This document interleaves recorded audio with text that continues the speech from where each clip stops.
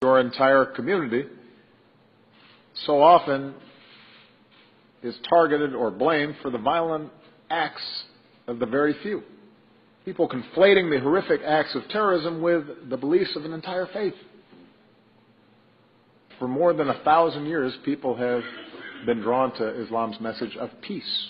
The standard greeting is Assalamu alaikum. Peace be upon you.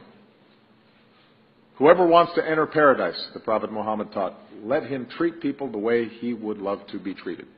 Muslim Americans enrich our lives today in every way. There are neighbors, the teachers who inspire our children, the doctors who trust us with our health. There's scientists who win Nobel Prizes, young entrepreneurs who are creating new technologies that we use all the time. They're the sports heroes we cheer for, like Muhammad Ali and Kareem Abdul Jabbar.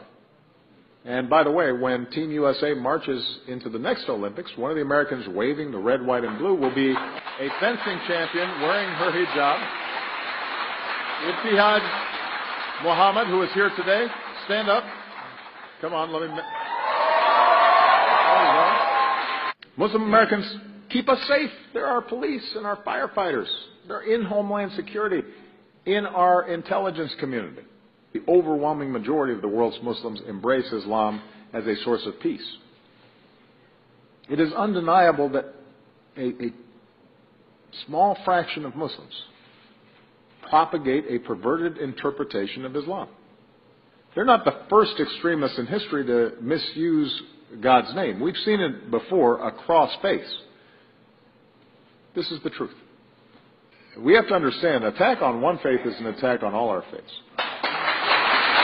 first word revealed in the Quran. Iqra means read, to seek knowledge, to question assumptions.